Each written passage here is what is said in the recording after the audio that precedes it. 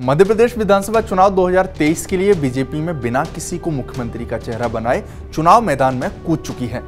चुनाव में बहुमत मिलने पर अगला मुख्यमंत्री कौन होगा? इस पर बीजेपी खामोश है।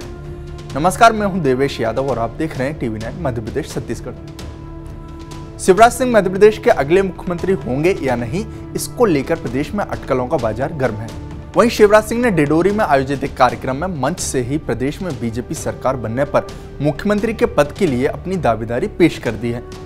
मुख्यमंत्री शिवराज सिंह चौहान ने शुक्रवार को अपनी दावेदारी पेश करते हुए जनता से पूछा कि वह उन्हें एक बार फिर मुख्यमंत्री देखना चाहते हैं या नहीं। डिंडोरी में एक कार्यक्रम को संबोधित करते हुए उन्होंने पूछा कि मामा को दोबारा मुख्यमंत्री बनना चाहिए या नहीं और क्या भाजपा की सरकार बननी चाहिए या नहीं। सुनिए शिवराज सिंह चौहान ने मंच से क्या बोला। बताओ, आज आपसे पूछ रहा हूँ डिडोरी वालों। मुझे दिल से, ईमानदारी से बताना, मैं कैसी सरकार चला रहा हूँ? अच्छी सरकार चला रहा हूँ कि बुरी सरकार चला रहा हूँ? ज़ोर से बताओ, अच्छी चला रहा हूँ कि बुरी सरकार चला रहा हूँ? तो यह सरकार आगे चलनी चाहिए कि नहीं? मामा को मुख्यमंत्री बनना चाहिए कि नहीं? मोदी जी को प्रधानमंत्री बनना चाहिए कि नहीं? भाजपा की सरकार फिर से आना चाहिए कि नहीं? तो आओ मेरे बहनों और भाइयों, हम संकल्प करें कि जो हमारा साथ देगा, हम उसका साथ देंगे। हम जो हमारे साथ, हम उसके साथ। गौरतलब है कि मध्य प्रदेश बीजेपी ने जिस तरह से विधानसभा चुनाव लड़ने के लिए छह केंद्रीय मंत्रियों और सांसदों को चुनाव में उतार दिया है जिसके बाद से शिवराज सिंह के भविष्य को लेकर कई तरह की अटकलें लगने लगी हैं। इसे उस वक्त और हवा मिल गई जब उन्होंने एक सभा में भावुक अपील करते हुए कह दिया चला गया तो बहुत याद आऊँगा। सुनिए शिवराज सिंह का ये बयान। ऐसा भैया मिलेगा नहीं जब मैं चला जाऊँगा तब याद आऊँगा हालाँकि अब शिवराज ने साफ़ संकेत दिए हैं कि वह मध्य प्रदेश में फिर विधानसभा का चुनाव लड़ेंगे और पार्टी को जीत मिली तो मुख्यमंत्री भी बनेंगे।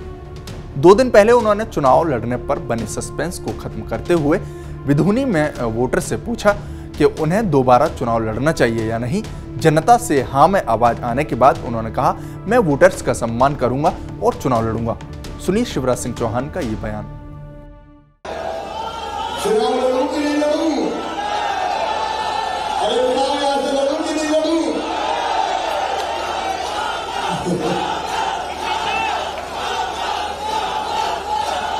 मेरे भाइयों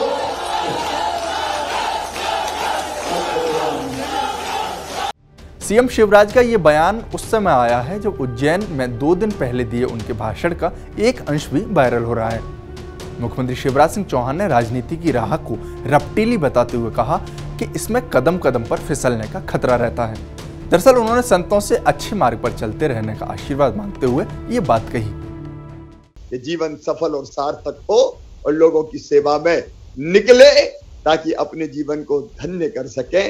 मैं अपना परिवार, अब मेरा परिवार तो केवल साधना कार्य कुणाल नहीं है। सारा मध्य प्रदेश, नौ करोड़ जनता ही अपना परिवार है और उन्हीं की कृपा से मैं सरकार नहीं चलाता, मैं परिवार चलाता हूँ। अपना परिवार जो आप बैठे हैं, आप सबको भी प्रणाम।